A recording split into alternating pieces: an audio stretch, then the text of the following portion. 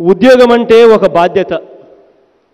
నేను నా మూడు వేల ఆరు వందల నలభై ఎనిమిది కిలోమీటర్లు సాగిన నా పాదయాత్రలో నేను చూశా. పదమూడు జిల్లాల్లోనూ తిరిగా అక్కడ పరిస్థితులను కూడా చూశా. గ్రామం అంటే నిజంగా ఎవరికైనా కూడా ప్రేమే మక్కువే. ఆ మక్కువ ఆ ప్రేమ చివరికి అమెరికాకు వెళ్ళినా కూడా యూరోప్ వెళ్ళినా కూడా అక్కడ వాళ్ళు కూడా సొంత ఊరిని మర్చిపోరు సొంత తల్లిని మర్చిపోరు. అక్కడ వాళ్ళు కూడా ఆ ఊరికి ఏదో మేలు చేయాలి అని చెప్పి అక్కడ వాళ్ళు కూడా ఆలోచన చేస్తూ ఉంటారు. అటువంటి బృహత్తర బాధ్యత మీ అందరి భుజస్కంధాల మీద ఉంది అని చెప్పి మర్చిపోవద్దని మీ అందరితో కూడా కోరుతా ఉన్నా. గ్రామాల పరిస్థితి ఒక్కసారి గమనించండి. కనీస సదుపాయాలు ఉండాలని ఎవరైనా ఆశిస్తారు. మంచినీరు ఉండాలి మంచినీళ్ళు తాగాలి అని ఎవరైనా ఆశిస్తారు. పిల్లల చదువుల కోసం మంచి బడి ఉండాలి అని చెప్పి ఆలోచన చేస్తారు. చిన్న చితక ఆరోగ్యాలకు వైద్యం కోసం అందుబాటులో వైద్యం ఉండాలి అని చెప్పి ఆలోచన చేస్తారు.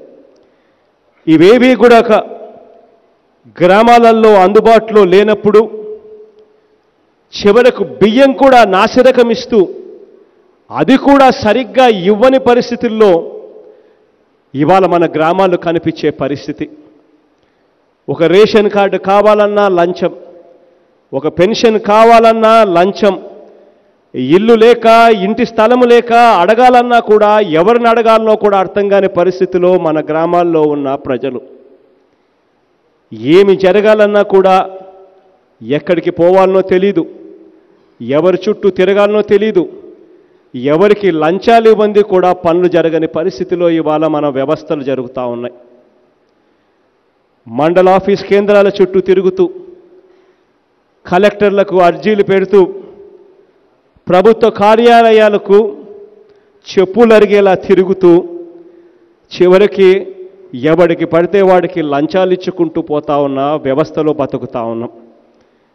ఇటువంటి పరిస్థితుల్లో మన గ్రామాలను మనం చూసాం జన్మభూమి కమిటీల పేరు మీద ఏ రకంగా పెన్షన్లు కావాలన్నా రేషన్లు కావాలన్నా పనిముట్లు కొనుగోలు కావాలన్నా చివరికి మరుగుదొడ్లు కావాలన్నా కూడా లంచం లేనిదే ఎక్కడా కూడా పని జరగని పరిస్థితి మన కళ్ళ ఎదుటనే చూసాం గ్రామాలలో పాలనా వ్యవస్థ వెంటిలేటర్ మీద ఉంది అని చెప్పి నేను వేరే చెప్పాల్సిన అవసరం కూడా లేదు.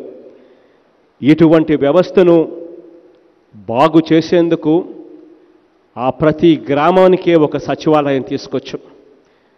ఎవరికైనా కూడా ఏదైనా కావాలి అని అంటే లంచాలు లేకుండా వివక్ష లేకుండా డెబ్బై రెండు గంటల్లోనే అది అందుబాటులోకి తీసుకురాగలిగే మెకానిజం కోసం ఈ వ్యవస్థ ఉంది అన్నది మర్చిపోవద్దు అని చెప్పి మీ అందరితో కూడా నేను కోరుతా ఉన్నాను.